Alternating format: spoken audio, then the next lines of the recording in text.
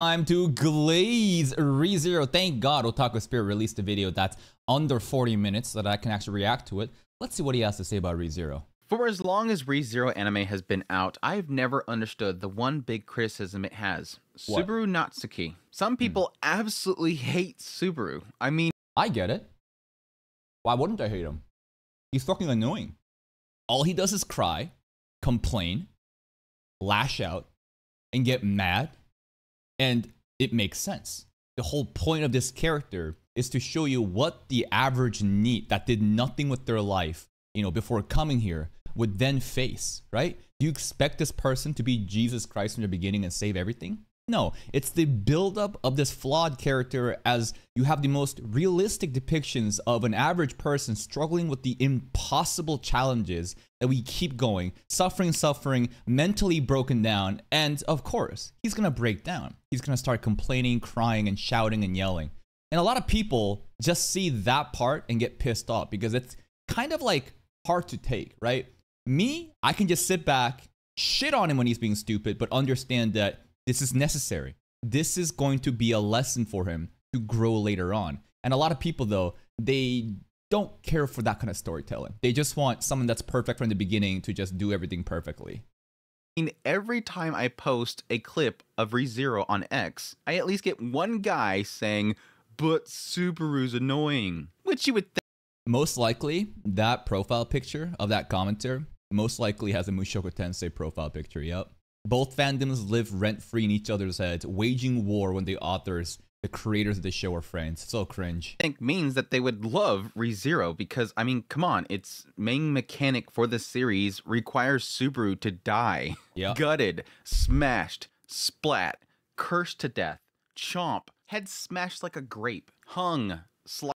Some people probably does enjoy the show when he dies, but the death, I, I don't know. They, it's, it's something about the way he acts, and like, I'm not gonna lie, like Subaru pisses me off a lot. Like even in season three, that beginning episode of how we, you know, talked to Kiritaka with Liliana, that shit was so fucking stupid. But I get it, right? He acts on impulse, and we need to have, you know, some sort of drama happen for the story to kind of move forward. But uh, I don't think most people really watch this shit for him dying. They just get upset when Subaru starts complaining. And when you think about it, when you really think about what's going on with him, it makes a lot of sense. sliced, so on and so on. Even still, I sort of understand this criticism. I mean, Subaru is kind of a dumb kid at 1st you know, because he's a dumb kid, like, Mhm. you know, kids do. He's eccentric, he's annoying, poses like he's a massive Saturday Night Fever fan. And there's even lore in why he does this pose. Like season two, the trials explains it, right? This is an absolute loser. He did nothing with his life, showed up here, thinks he's the fucking main character, which he is, but then he treats other people like NPCs like it's a video game. And once he realizes that shit gets real here, then he starts to kind of fold and he starts to have, you know, these crazy crash outs that a lot of people just can't stomach. Even still, all of season one and even into season two, I was a big Subaru apologist. The guy's just dealing with a shitty situation the best that he can. And even mm-hmm. when he's at his most unbearable and most snotty, I sort of find myself understanding due to sheer paranoia his situation creates. I mean, how would you feel if people around Here's the thing though people, the average person, is so stupid, they cannot empathize nor even try to think from the other person's perspective. They never reason in their heads why he's like this. All they see is someone crying and complaining, and they get upset without even thinking, why are they complaining? Why are they upset?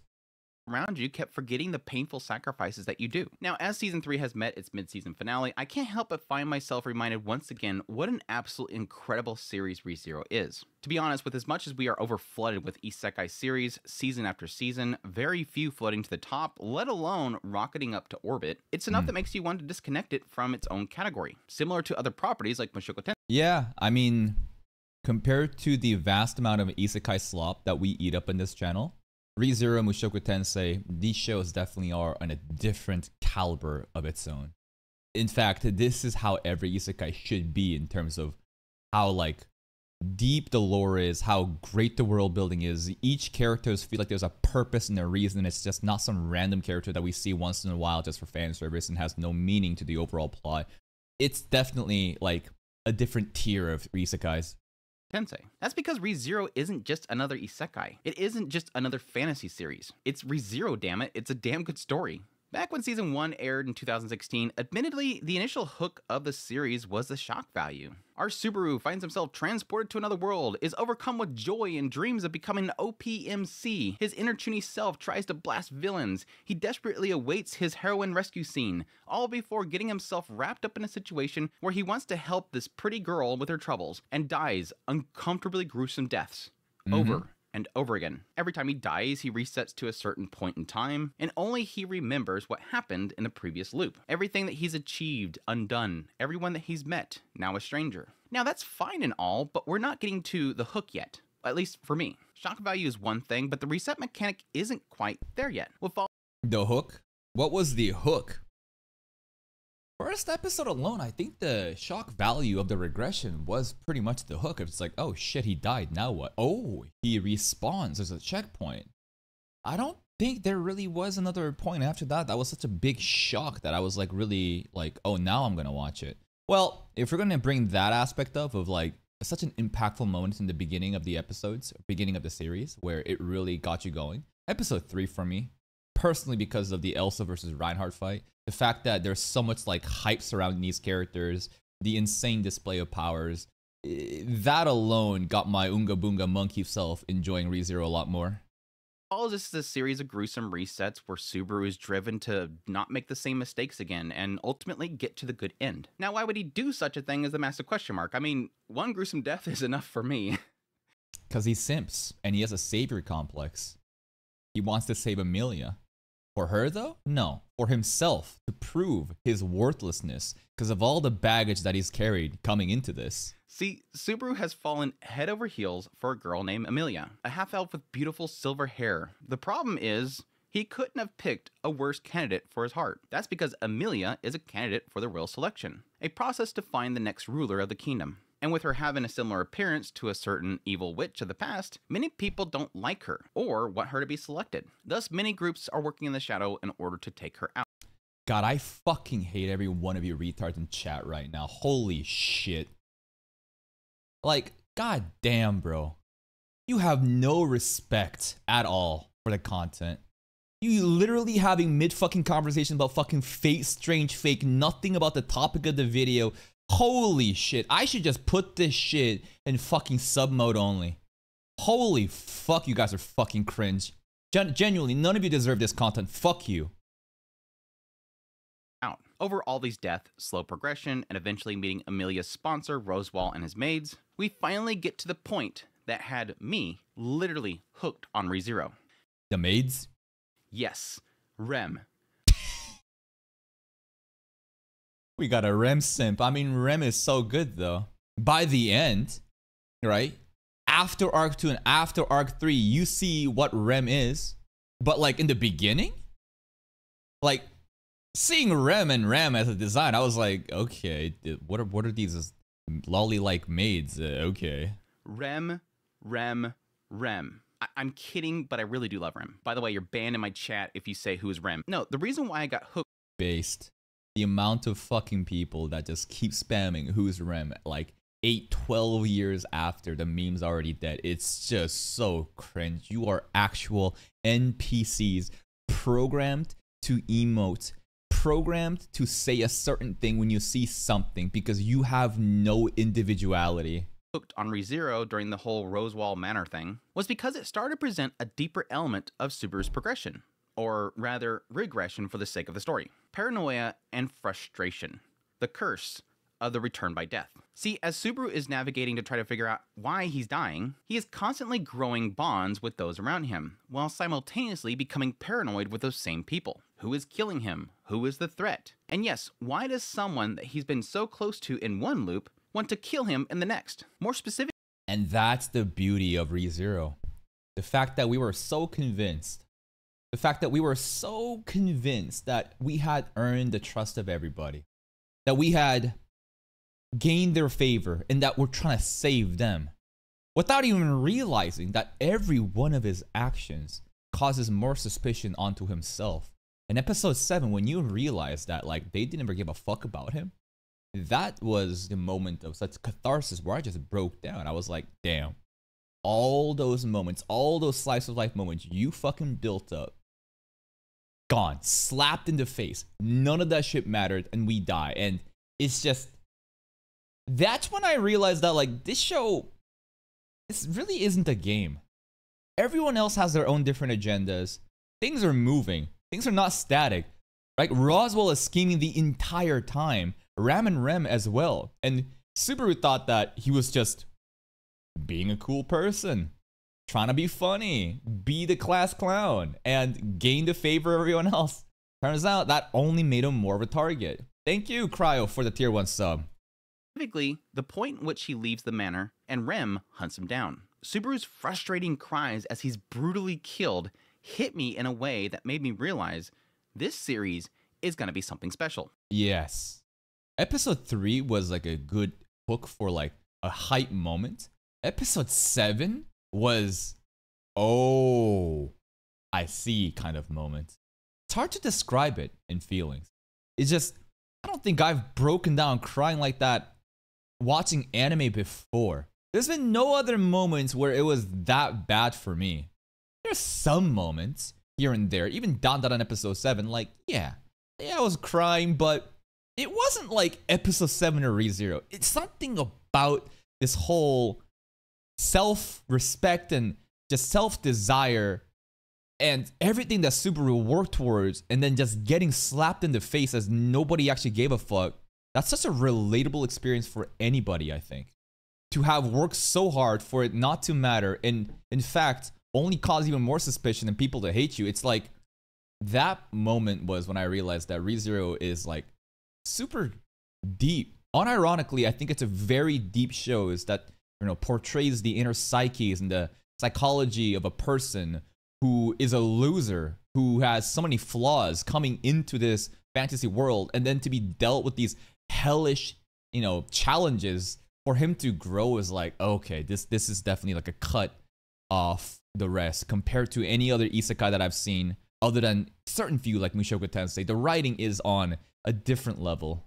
It captures both the frustration of what the return by death causes Subaru, while also simultaneously reminds us that the people around him see his actions differently. It was a perfect encapsulation of the cause and effect of what Subaru is able to do. Not to take his power for granted, but also be mindful that things aren't pretty in this cutthroat world. Additionally, on top of that, another great thing this looping presented was a creative way for the viewer to get to know the characters Why of Roswaal? world. Rather than slow down the pacing and drag out scenes with massive exposition dumps, we not only get to explore the characters through different paths Subaru takes, keeping it consistently fresh, but additionally, and this is the most important, we see characters in different light. And Yeah. A lot of people complain about the regression of it just being filler. Like, I cannot comprehend being so stupid that you think that looping, you know, the same days, even though you're clearly doing different things and having different interaction with characters, and again, seeing them in a different light, how could you possibly think that this is filler? That it's just like repeated lazy content? You get to see these characters in a deeper depth than you've ever seen before, right? Some path, you're really doing it well with or Ram. Some path, they fucking hate you. And this, and, and, and it kind of feels like a, whenever you play like a visual novel game or some sort of different game where there's like these paths, right? Sometimes you can try to be completionist, to try to figure out every path you can, but sometimes you go on a different path and it's only that, you know, that run, that specific like run of the game, right? ReZero and its ability to regress and get to see other characters in different lights and other events, I think kind of makes it feel like more like a completionist route. In one loop, Subaru can be super nice to Rem, and we get to see the lighter side of her, while in another loop, he avoids her. And in the end, we get to see her dangerous side, that seeks to protect the manor. In one loop, Rem becomes cursed, and we see Rem go into a murderous rage, thus highlighting her willingness to destroy everyone in the manor for the sake of her sister. This is a great thing, because the characters of ReZero are some of my favorites in anime. Each That's right. Every character is so deep.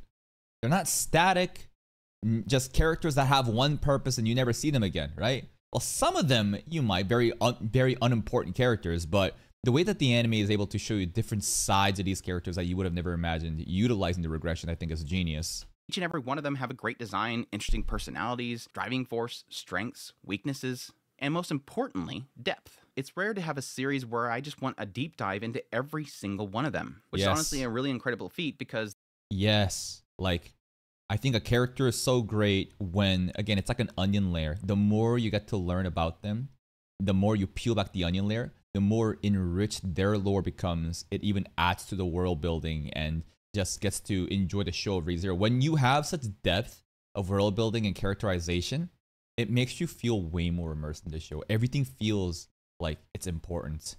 Like Priscilla, for example, right? You see her, this girl, and she's just so pompous and arrogant and cocky.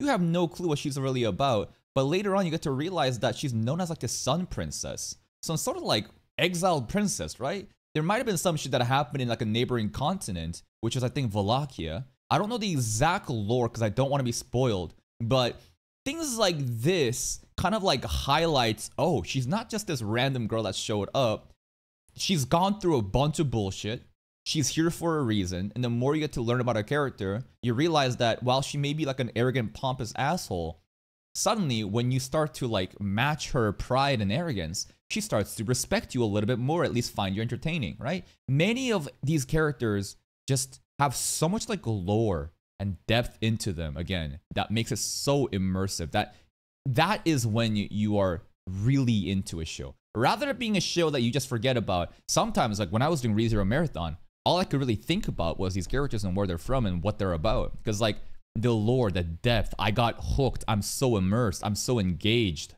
The cast at this point is huge. Ram's devotion to Subaru, yet her tragic past with her sister Ram. Ram's history with her sister and her devotion to Roswaal. Roswaal's longtime devotion to Echidna, and his history with her and Beatrice. Beatrice's longtime solitude and her final message from Echidna. I want Priscilla to step on me. The backstory of Okay. And Fortuna. Otto's constant meddling in the background. Wilhelm's history with his family. I ship Mimi and Garf. Felt's Me rise too. from street rat to the leader of the outcasts. Reinhard's too damn OP and hot. Garf's struggle with his family, and so on and so on and so on. Shoot, even the villains of the series have me super intrigued. Which reminds me, Mm. both Tappei and White Fox absolutely nail villains. Every time one shows up, there's this strong sense of dread that just comes with them. I would say it's thanks to Betelgeuse and how he was portrayed immediately. That was our first impression on what an archbishop is that represents a sin. A sin archbishop that represents. Betelgeuse Romanée-Conti. This. That episode, when he dropped in, the performance, the craziness displayed by his actions, his voice acting, it's insane. He's like a mad poet. And you're just shocked, stunned, because like, oh shit, now we get to see Witch Cult stuff and they're like this. Kind of like sets an expectation, a set like a like a standard of what the like the endgame villains of this show could be. I'm not saying the archbishops are endgame villains, but so far, right, there hasn't been anything of that caliber in season one by like what was it, like episode fifteen? Right? Yeah, episode 15 is the one where Betelgeuse did the thing, you know, Rem Twister, you know, and then says sleep along with my daughter, and and the credits roll. It's just fucking crazy. That kind of first impression, I think, really just like consolidates such a threat, such an importance that when you meet these archbishops, they're not to be fucked around with. And then immediately what happens? Season two happens, and you get two archbishops immediately. And the devastation that they cause, again, just hypes up the villains in this show so much. And each of these archbishops, they're so deep, right? At a first glance, you're gonna think that Betelgeuse is just crazy and he's just talking nonsense. But the more you analyze what he's saying, the more you try to understand where he's coming from, you start to re- really recognize like what does these sins mean to them and how do they behave. The funny thing about Betelgeuse is how diligent he is. It's a virtue. Diligence is a virtue that opposes sloth, which he represents as the sin, right? And he punishes those that are slothful by just doing crazy shit. And he rewards that are diligent. And you would wonder, why the fuck does an archbishop act this way? It's like the complete opposite of leaning into a sin. Then you get to see a little bit more of, I guess, like season two content, right? With the trials and the backstory of Betelgeuse and Fortuna and stuff and how he came to be. I'm not sure if it's ever been explicitly stated, but to me, it felt like Betelgeuse was really never meant for, you know, taking sloth, as he said, and he's not even compatible with that shit, right? He constantly bleeds out his eyes. He's just in so much pain whenever he uses his powers. But that diligence and the sin, I, I think it's just such like deep writing that every character has a specific theme that they're hardcore about and how this represents them. It's just peak writing. To be truthful, the weight of their rival is often facilitated by Subaru's lack of power, but additionally testament to the closeness that we have to the characters. We don't want to see them suffer, we don't want to see them harmed, and unfortunately with a reset aspect, they will get harmed because a reset can happen. Even still, being presented with powerful allies like Reinhard never alleviates the fear of dread that the series creates. Betelgeuse's creepy person. Yes, and that's the thing that I fucking hate about this show, which also is, I think, a good thing. That you have these insane allies like Reinhard, yet he pops off once in episode 3 of season 1, then fucks off until season 3. There's these very creative ways that Tappei introduces OP things and then immediately benches them or nerfs them, right? For example, Reinhard has night duties that he has to attend to. He can't be everywhere at once. Roswaal, the greatest, you know, magician of this kingdom, is actually against us the entire time. Well, you could say that he's acting against us, but at the end of the day, he viewed Subaru as like, you know, the ultimate tool, right? Uh, what else do you have? At the end of season two, Beako and Subaru has this crazy moment of using Al Minya and Al Shamak to get rid of the Great Bunnies, right? But what happens? Turns out we can't use that all the time. That was a once in a lifetime thing happened because Beako stockpiled mono for 400 fucking years and now it's gone. Now, uh, Subaru and Beako, they can do very little compared to what we saw in season 2, right? See how every time something OP happens where it's just like finally we have a trump card. Well, guess what? It gets nerfed. It gets benched in a very creative way that makes sense to the story of ReZero because if you had like a solve all button, right? Here's a problem with OP characters. Yeah, once in a while, having them pop off is fun. But if they're always solving your problems, it's lazy. It's boring. It's not fun. Personality as he effortlessly turns the powerful Rem into a pretzel. Capella's twisted nature to turn everything into grotesque things. Regulus blasting Subaru's leg off with a pebble. Pandora erasing that very same Regulus from even existing. Shoot, even to this day, the existence of Elza and Garf's mind fills me with foreboding that I still can't shake off. Though there's antagonist characters that I am honestly excited to see what they do with. While at first, characters like Heinkel can be dirtbags, I just assume at some point Tappei will end up explaining them in a way that makes them at least understandable, even yeah, I mean, they said that if Subaru wasn't the main character of this show, Tappei said that Heinkel would be. Isn't that fucking crazy? That this piece of shit alcoholic drunk that ruins everything, you know, is actually a very deep character. And there must be a reason why he's like this. And when you understand why he's like this, then maybe you could empathize and realize that, ah, this is why he's so shitty, right? We haven't got that explanation just yet. I'm not sure when we're ever going to get that. Even if they remain dirtbags. Overall, though, the characters are great. It's similar to my love to something like Bungo Stray Dogs, where no matter what character the scene focuses on, I'm intrigued to know what they think about the current situation, or what they plan on doing. Like right now, Al, Al. and Otto are on my sus list. They yes. know too damn much. now, Otto is Pandora. Here's the thing. While I love the reset mechanic of ReZero and its effects on Subaru and those around him, it's not as if I want this concept to become repetitive. Thankfully, ReZero doesn't do this. It yeah, thanks to Straight Bet, right? What happened in season two after Subaru had therapies from all the witches, and Satella says, like, why can't you realize that this power is meant to save you as well? And to value yourself and not, you know, sacrifice everything for the sake of one. We strictly, you know, went against Roswaal's ideologies, and now he's trying to really just save everything and everyone. And now we also have a promise with Roswaal, right? Roswaal said that, okay, you're going to try to make your own cake and eat it too. Well, if you can't save everyone around you and move on, I will force a fucking reset right? That's what he said. And Roswaal's obviously not here with us right now, but Subaru right now continuously gets fucked up, leg gone, cursed, all these shitty things are happening, and we haven't gotten a reset in such a long time in season three.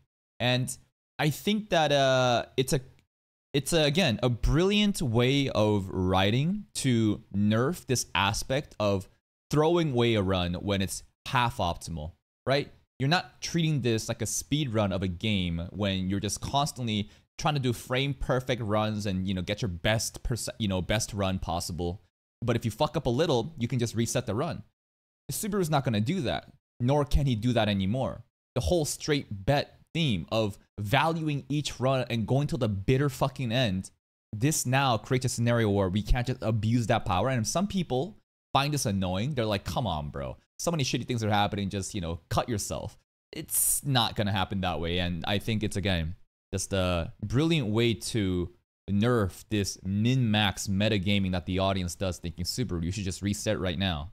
It constantly evolves the formula and never gets stuck in one place for too long. I have a massive respect for the author Tappei's willingness to refresh the formula on a regular basis. Yes, the return by death thing is still present and it happens, but it's thankfully not utilized too much. Instead, he pivots to my next favorite Mhm. aspect of ReZero, its world. God damn if I don't have a million questions. And thankfully, at the same time, I trust him to deliver on them. Tappei has a knack for intrigue that I rarely find elsewhere. He knows Yeah. For one answer, we get like three separate questions. how to guard his cards, and he doesn't reveal them too quickly. And the worst part, he's so troll. He doesn't reveal things, and quite often, he heavily sends you false positive signals to misdirect you what's happening. Even right now, the whole thing with Al, it's screaming at us that Al could be Subaru from a different timeline. Yet, this could be another misdirection, right? Time after time, these mysteries just seem like Tappei is trying to feed us with these hints, and he is, but sometimes he completely just trolls you and makes you think or assume some things based on the evidence been given, but actually it's not that at all, and then boom, you're just astonished, mind blown. Fuck, he did it again. I've spent so much time speculating on why Subaru is there, why and if the Witch of Envy brought him there, her connection to Emilia, the witches, if they're really sealed away, the archbishops, how they gained their power. What are they after? What the royal selection really is? Mhm. What's Pandora after? The divine dragon, the cult, the sword saints, the gates, There is so many questions. the magic system, the mechanics, it's all just constantly tickling my brain. The thirst for more bits of information keeps me hooked. And if something is answered, five more questions are created. Yep. I just love that trickle. And Tappei is a genius at it. Season 1 really pulled off a nice gradual introduction to the world. The main I don't think it's random glaze or like like like when I when people say Tappei is a genius, I actually believe it.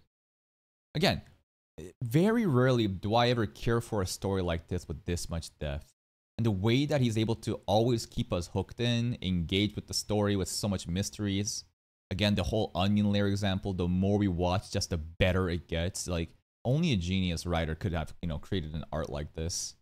Main plot line of the royal selection. Subaru's circumstances for being there. Season 2 did a good job of diving deeper into the witches, and ultimately the bigger threat within, Roswaal. But season 3 really managed to kind of flip the table on me, as we are presented with at least four main key figures of the witches cult, while also banding together the main figureheads of the royal selection. It's five princesses versus four archbishops that has me anxious to see how the dust settles. Why that is because Tappei is really good at kind of throwing in twists and turns that keeps each encounter interesting, which is why mm-hmm. I'm sure this battle royale is going to be an epic one. Shoot, in the first half of season three, we got to see how Reinhard, who is like massively OP and beating the crap out of Sirius, ends up being literally Subaru's downfall. His power ends up being what takes out Subaru. It's just so well crafted. No scene, no interaction is ever boring. And that's not even to get into how amazing the presentation of this anime is. Sure, yes, they use CGI for crowds, they use Yeah, it's really nice that Tappei has a close connection with the studio White Fox that creates ReZero, and it just seems like they care a lot more than most studios that just make random shows. Is it for transportation here and there, and some very important segments are being skipped only for it to be covered in the chibi anime shorts. But overall, the series has been a pleasure to watch. Establishment shots absolutely pull you into the setting, combat sequences are massive hype and well presented, moments of tension are always accented by great lighting and tense perspective shots. Still to this